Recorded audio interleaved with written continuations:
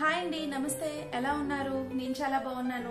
మీరు ఎలా ఉన్నారో కామెంట్ సెక్షన్లో షేర్ చేయండి. ఫ్రెండ్స్ ఈరోజు నేను చెప్పబోయే టాపిక్ ప్రతి ఆడవాళ్ళకు కూడా ప్రతి యూజ్ అయ్యేది కిచెన్ టిప్స్ నేను చెప్తానండి. ఒక టెన్ కిచెన్ టిప్స్ చెప్తాను.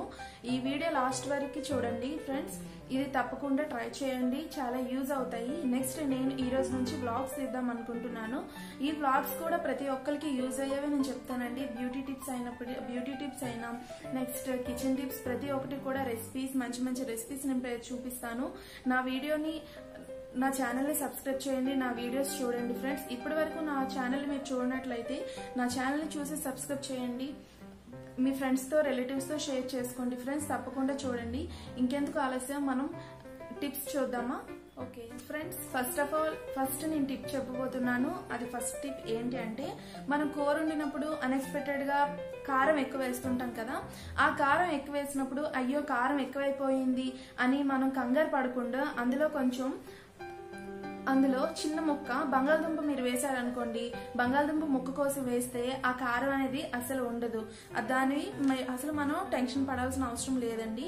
ఇది ఫస్ట్ టిప్ సెకండ్ టిప్ ఏంటి అంటే అన్నం ముద్ద అవుతుంది కదా అలా అన్నం ముద్ద అవ్వకుండా ఉండాలంటే అన్నం ఉడికినప్పుడు టూ ఆర్ త్రీ డ్రాప్స్ నూనె వేయండి. అన్నం అసలు ముద్ద అవ్వకుండా ఉంటుంది. నెక్స్ట్ కందిపప్పు. ఏదైనా పప్పు కూడా వండినప్పుడు కూడా అందులో ఆయిల్ వేయండి. అస్సలు ముద్ద అవ్వకుండా ఉంటుంది. ఓకే నో టిప్ ఏంటి అంటే కూరగాయలు వాడిపోయి ఉంటాయి కదా. ఫ్రిడ్జ్లో పెడితే ఓకే ఫ్రెష్ గానే ఉంటాయి. కానీ ఫ్రిడ్జ్ అందరికీ ఉండదు కదా. బయట పెట్టినప్పుడు వాడిపోతాయి. సో వాడిపోయిన కూరగాయలు మళ్ళీ ఫ్రెష్గా రావాలంటే నిమ్మరసం ఆ కాయగూరలు కట్ చేసినప్పుడు నిమ్మరసం కొంచెం ఆ వాటర్లో కలపండి. మళ్ళీ ఫ్రెష్గా వస్తాయి. కొ- కొనే మనం ఎంత ఫ్రెష్గా కొంటామో అంత ఫ్రెష్గా వస్తాయి. ఈ థర్డ్ టిప్ మీరు అందరూ పాటించండి. ట్రై చేయండి ఫ్రెండ్స్ ఓకే టిప్ ఏంటి అంటే ఇప్పుడు టూ డేస్ త్రీ డేస్ అయితే పెరుగు ఉంటుంది కదా? అలాగే కొంచెం ఎక్కువ రోజులు మన పెరుగు పాడవకుండా పుల్లకుండా పులవకుండా ఉండాలి అంటే అందులో చిన్న కొబ్బరి ముక్క వేయండి. అసలు పెరుగు అనేది పాడవకుండా ఉంటుంది. సిక్స్త్ టిప్ ఏంటి అంటే ఇప్పుడు మనం చేపలు వండుతుంటాం కదా చేపలు వండినప్పుడు అసలు నీచు వాసన అనేది ఇంటి మొత్తం వస్తుంటది. నీచు వాసన అసలు ఇంటి ఇంటి మొత్తం వస్తుంటది కదా. ఇంటి ఇంటి మొత్తం వస్తుంది నెక్స్ట్ ఆ వండిన పాత్రలకు వస్తుంది. సో అలా రాకుండా ఉండాలంటే ఇప్పుడు మనం నిమ్మకాయ ఉంటుంది. నిమ్మకాయ దాని జ్యూస్ తీసేసి ఆ తొక్కలు పడేస్తాం.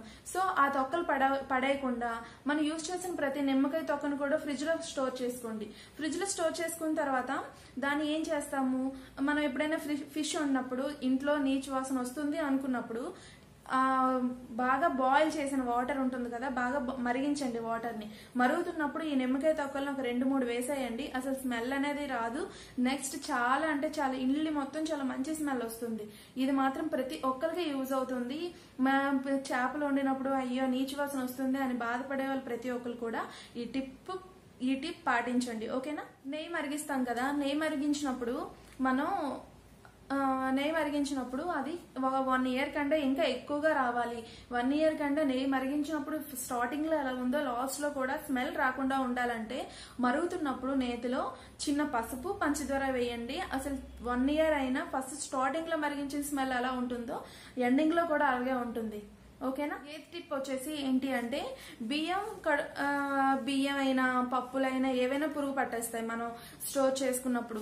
సో అలా పురుగు పట్టకుండా ఉండాలంటే బిర్యానీ ఆకు ఉంటుంది కదా బిర్యానీ ఆకైనా వేయండి నెక్స్ట్ వేపాకైనా వేయండి ఎండుమిర్చి అయినా వేయండి. ఈ మూడిట్లో ఏది వేసినా కూడా బియ్యమైనా పప్పులైనా ఏది కూడా పురుగు పట్టకుండా ఉంటుంది.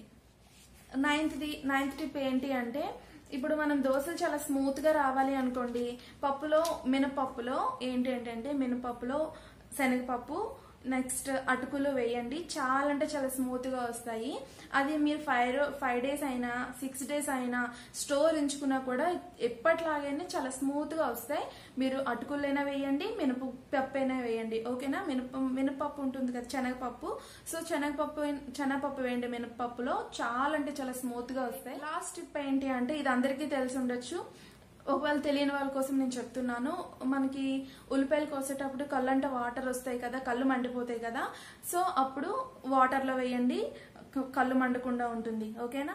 మన ఇంటికి గెస్ట్స్ వచ్చారు వాళ్ళకి భోజనం వండాలి మనం బంగాళదుంప వండుతామండి. బంగాళదుంప వండినప్పుడు అది కొంచెం త్వరగా ఫ్రై అవ్వదు కదా అలా ఫ్రై వేగంగా ఫ్రై అయిపోవాలంటే బంగాళదుంప కొంచెం ఫ్రై చేసినప్పుడు కొంచెం మజ్జిగ వేయండి వేగంగా ఫ్రై అయిపోతుంది.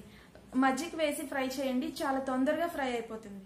ఫ్రెండ్స్ ఇప్పుడు మనం బెండకాయ ఫ్రై చేస్తాం కదా. బెండకాయ ఫ్రై చేసినప్పుడు ఎప్పుడు బెండకాయ ఫ్రై చేసినా మనకి పొడి పొడిగా రావాలి. దాని జిగిట్నెస్ అస్సలు ఉండకూడదు అంటే బెండకాయ కొంచెం ఫ్రై చేసినప్పుడు మజ్జిగ కలపండి. కొంచెం అంటే కొంచెం ఒక టూ త్రీ టేబుల్ స్పూన్స్ మజ్జిగ కలపండి. అది చాలా పొడిగా వస్తుంది. అసలు జిగిట్ అనేదే ఉండదు. ఇదండి నా టిప్స్. ఈ టిప్స్ అన్ని మీకు యూజ్ అవుతాయి అనుకుంటున్నాను. తప్పకుండా మీరు ట్రై చేయండి. అందరికీ ఉపయోగపడేవి ప్రతిరోజు కూడా నేను వ్లాగ్స్ తీస్తాను. ప్రతిరోజు కూడా మంచి మంచి టిప్స్ చెప్తాను. బ్యూటీ యాక్టివిటీస్ చెప్తాను. నా వీడియోస్ని మీరు తప్పకుండా చూడండి. త- మీకు రిజల్ట్ అనేది వస్తుంది. ఫ్రెండ్స్ ఒకవేళ ఇందులో ఏదైనా తప్పులు ఉంటే నాకు కామెంట్ చేయండి. దీన్ని నేను రెక్టిఫై చేసుకోవడానికి నేను ట్రై చేస్తాను. ట్రై చేస్తాను కాదు డెఫినెట్లీ నేను అది ఫాలో అవుతాను ఫ్రెండ్స్ అంతేనండి. ఈ వీడియో మీకు నచ్చినట్లయితే లైక్ చేయండి షేర్ చేయండి. మరిన్ని వీడియోస్ కోసం నా ఛానల్ సబ్స్క్రైబ్ చేయండి. Thanks for watching see next video bye bye take care